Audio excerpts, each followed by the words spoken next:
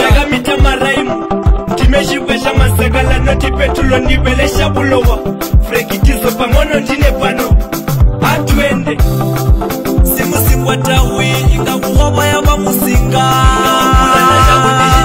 ukulashonge walichaya simusingwa tawi ingakuwaa